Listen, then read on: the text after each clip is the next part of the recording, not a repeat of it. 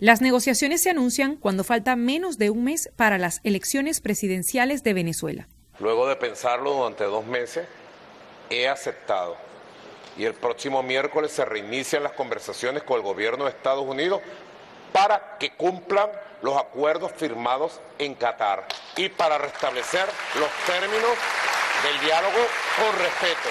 En estas conversaciones no participa la oposición, son distintas a las que facilita el Reino de Noruega y que dieron lugar al Acuerdo de Barbados. Sin embargo, la coalición de partidos evalúa positivamente el encuentro entre el oficialismo y Estados Unidos.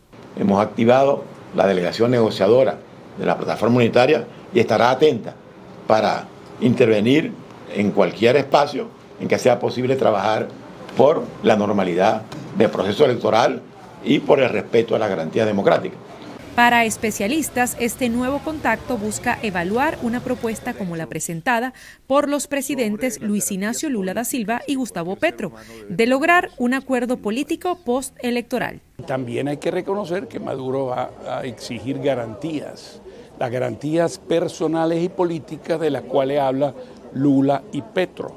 Recuerda que Lula y Petro en Bogotá dijeron las elecciones del 28 tienen que ser transparentes, pero hay que dar garantías personales y políticas a los perdedores.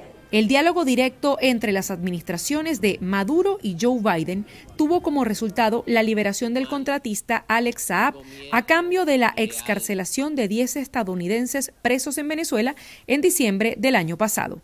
Adriana Núñez Rabascal, Voz de América, Caracas.